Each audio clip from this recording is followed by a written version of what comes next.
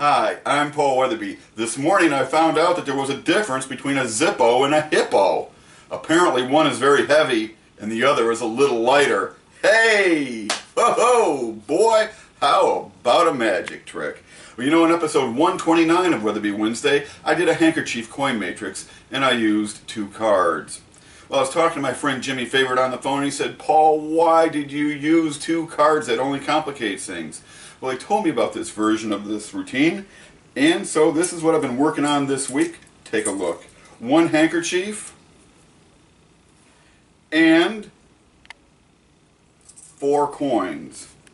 These are American half dollars. I'll put a coin underneath each corner.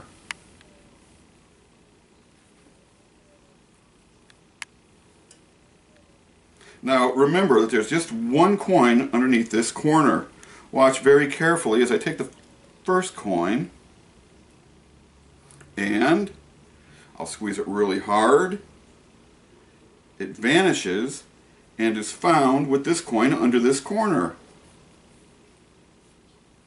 The next coin, once again, vanishes and is found with the other coins.